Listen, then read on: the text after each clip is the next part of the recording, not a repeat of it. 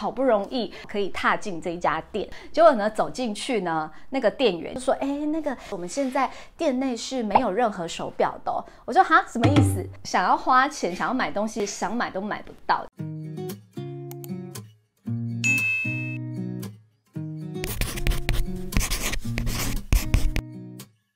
嗨，大家好，我是 Nancy。今天的影片呢，是一个非常轻松的一个我的生日礼物的开箱影片。然后呢，也顺便跟大家分享一下，就是呃，我买了这个这个包包，我自己经历过的一些心路历程。因为我今年三十八岁了，然后呢，就是再加上就是我去年的工作给自己设定的一些目标都有达到，所以呢，我原本就有想好说，我今年要买一个好一点的礼物犒赏自己。这样，那我心中。呢，其实是原本是想要买手表的。呃，如果你有看过我之前分享影片，你会发现说包包我可以接受的 range 蛮大的。我只在乎它好不好看，或者是呃跟我的平常搭配啊风格符不符合。就是可能一两千块很平价包包我也会买，然后可能一两万块那种小众品牌的包包我也会买。然后我原本呢给自己设定的是想要买一只手表。那可是呢，因为这两年疫情的关系，然后市场上热钱很多，然后再加上大家因为不能出国，然后所以可能就是都把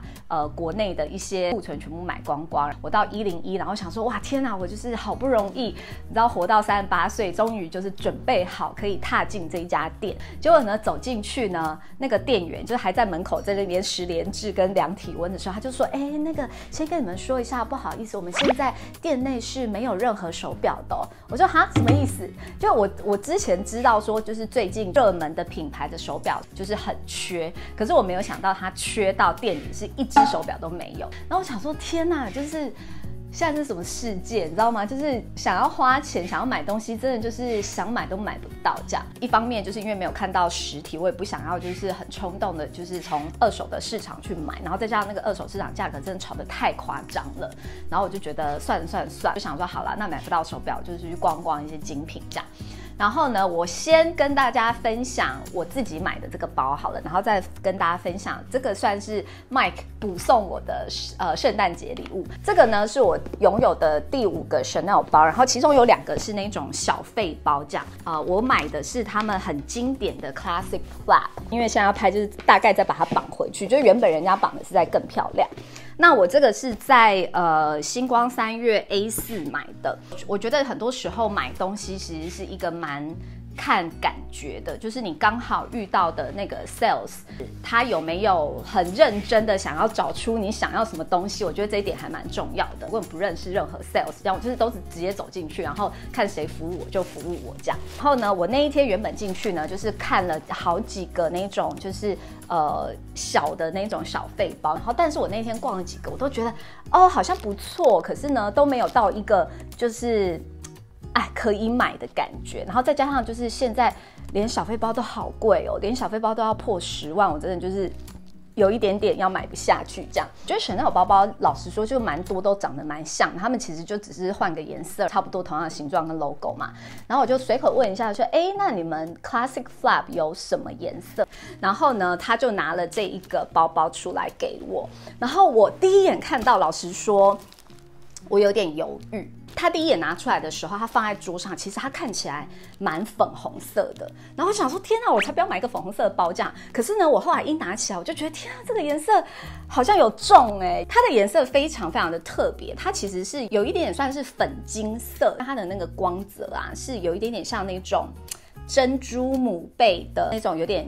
银亮银亮感，我就觉得这个包包怎么好像越看越好看，就是这个颜色越看越好看，因为它基本上就是它的最经典的 classic flap。然后我还跟他讲说，你们这个包包怎么变这么贵？因为我记得我好像去年看的时候好像是二十三还多少，今年已经要二十六万九，就觉得天哪，这个包包这么贵，我真的是买不下去。你知道我那个当下就心中在那边一直怒喊，然后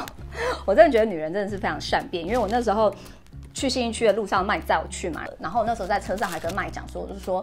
现在就是一个包包要二十几万，我真的就是买不下去。然后麦就说，可是因为 Chanel 它之后也会变成像是 Hermes 的这种就是 quota 的一个 system，所以它的经典包款就是还是会一直涨，一直涨这样子。然后他就说，那你应该买一个。我就说，可是我就觉得太贵啊，买不下去。然后就一转头，十五分钟后我就把它带回家。很多人可能买这种呃经典的包款，都会比较想要选择就是呃经典的黑色啊、米色啊、焦糖色什么这些的。为什么会买这个颜色？我觉得第一当然是我第一眼看到我就很喜欢，我自己觉得它很适合我这样。然后第二是，其实老实说，我自己买精品都不是未来要转卖它去赚钱，我都是属于一个我买了它，我就是要用它，就是要当下就是要享受它的心态。所以我就觉得，那我好像也不需要就是去纠结一定要去买那种基本色，因为如果是基本色的包包，我就已经有了。我后来买这个包包，我真的觉得我买对对了。我那时候结账的时候，我还跟他讲说，如果我回到家，然后就是觉得这个颜色越看越就是太激烈了，我可不可以回来换别的颜色？这样，然后他就说可以，可是就是不一定可以换到我想要的颜色，因为他们包包也很缺。但是我回到家之后，就是越看越喜欢。我觉得这个包包呢，它可以从呃，我不知道它从几年，因为历史我也没研究，但是至少也有个五十年吧，到现在。它的设计都完全没变，然后还可以长卖这么久，还是如此的抢手，我就觉得一个经典的包款呢，是真的是不会退流行这样。然后我妈说，在他们那个年代，大概三十年前，是一个这个 classic flat 只要大概六七万块，然后现在就是多了二十万这样。这个呢是他们的 classic flat，应该是二十三公分，应该是是配。呃，银色的金属扣，它的这个银色的扣呢，跟它的自己本身这个皮革的那个光泽感，我觉得非常非常的搭配。因为我觉得它如果是配金扣的话，可能就又会太浮夸了一些。因为它这个皮革颜色本身就是一个蛮抢眼的颜色。然后我自己真的很喜欢这个颜色，就我越看越喜欢，因为它就是有一点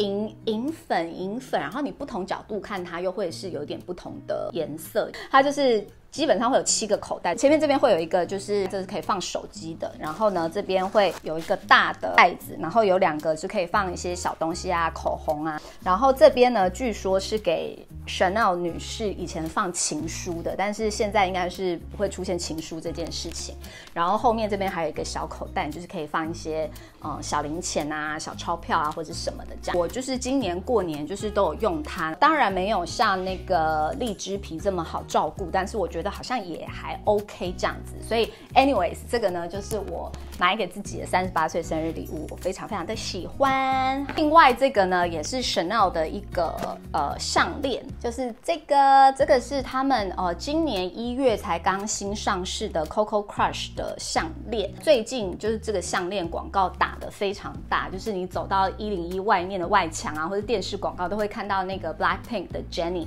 就是戴这条项链。其实 Coco Crush 的东西我之前就是呃看过很多次，然后我也去参加过他们活动，就我就觉得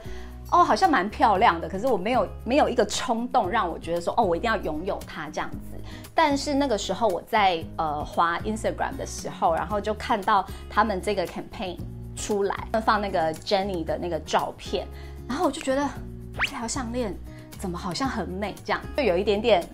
你知道，在我心中留下一个种子，这样。那时候去一零一，就是我去看手表的那一天，然后我们就去逛了 Chanel 这样，然后我就看到这条项链，我就觉得啊，好像是蛮适合我的。它其实呢，就是呃，你远看会很像它就是一颗单钻的项链，然后但是旁边有一个 C，然后就是那个 C 上面就是那个 Coco Crush 他们的那些呃菱格纹，Chanel 经典的菱格纹这样子。它有呃。白金、黄金跟玫瑰金，让我买的是玫瑰金，因为我自己本人就是蛮喜欢玫瑰金，我觉得玫瑰金比较衬我的肤色。这样，通常我在买这种呃精品品牌的。珠宝我通常会买项链或者是戒指，那主要的原因是我我其实很喜欢戴戒指，我平常习惯就是手上都会戴戒指，所以我觉得戒指对我来说反而是呃使用率最高的。那呃我通常不会买太贵的耳环，是因为耳环对我来说它比较像是一个 statement piece。穿搭衣服的时候，我通常都会呃。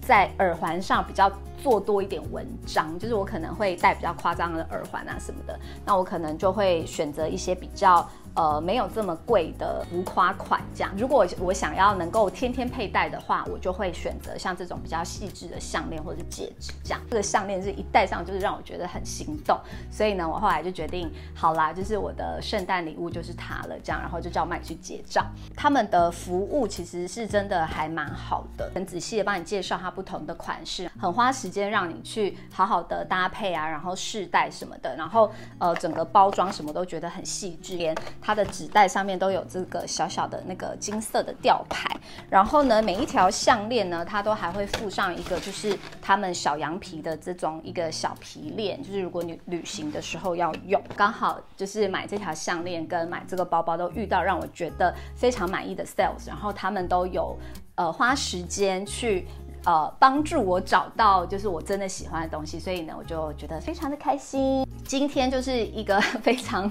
轻松的闲话家常，但必须说，现在的包包真的好贵哦。其实有就是走进去爱马仕，那我当然知道说爱马仕现在那种比较热门的包是一定买不到。然后我就随口问一下 sales，说，哎，那你们现在店内有什么包？这样，然后他就把我带到一个那种电梯旁边，然后一小小墙，然后里面就放三个包包。他就说，哦，我们现在店内可以贩售包。只有这三个，然后那三个就是那种很很不热门的，然后我就说，哎，不对啊，你们正面这边就是墙面上有个十几个包，这样，我说那这一些是怎么样？他就说，哦，这些也是客人借我们摆的。我就想说，现在到底是有多困难？这两年的那个疫情呢，真的是改变我们的人生非常多，就是除了呃生活上很多不方便之外，其实整个消费模式真的也转变了。好，那就先这样子啦，谢谢你们今天来看这支非常。轻松的 闲聊影片，然后后你们可以在下面留言祝我生日快乐。那先这样子，拜拜。